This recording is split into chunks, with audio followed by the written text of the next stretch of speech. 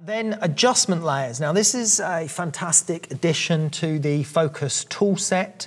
Let me find uh, an area we can work on to show you uh, that a little bit more in detail. I'm going just to zoom out a little bit. So now with the um, Phocus software, we have the ability to use adjustment layers.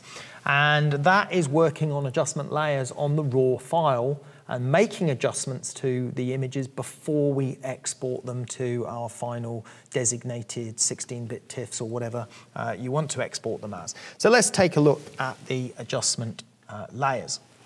So the first thing I would need to do is say I want to create a new adjustment layer. So I click Add Layer with the plus button.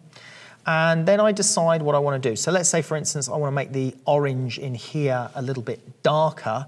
I can choose minus the exposure value and then I can choose a brush tool and I can adjust the size of the brush using um, the size command here and I can also adjust the flow rate and the amount of feathering of the brush as well. That's the softness, if you like, of the edge of the brush.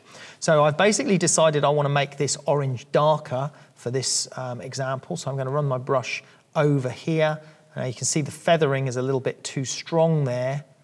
It's a little bit too harsh. I'm just going to run that around, see if I can do it. It's actually probably going to work out okay.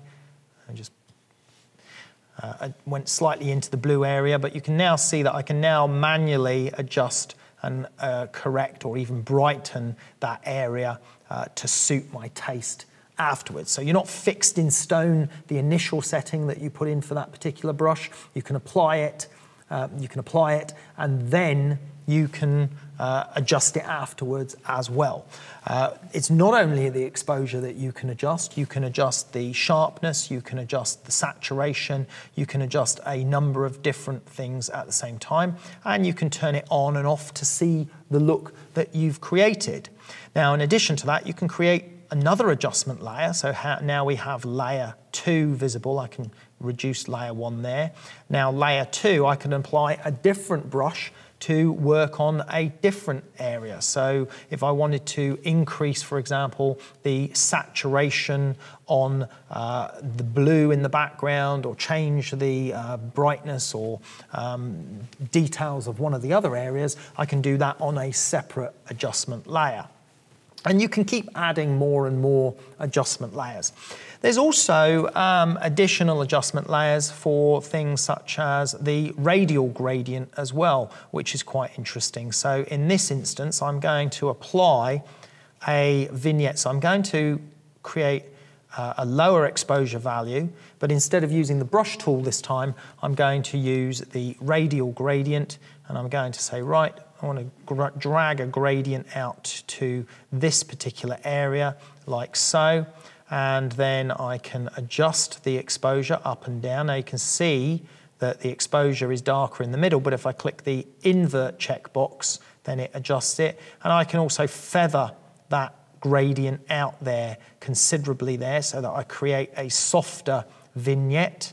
And then I can now move on to a new um, adjustment layer. So now I'm on to layer three if necessary.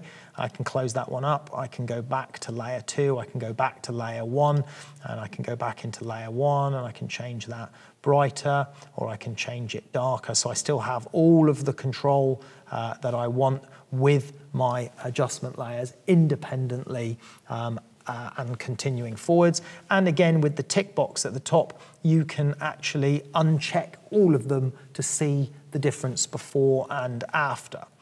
Additional to that, we also have the viewing of the mask. So if I just go back to layer one a moment, I'm going to turn layer two off. I'm just going back to layer one. I'm going to click the mask um, option to show the mask.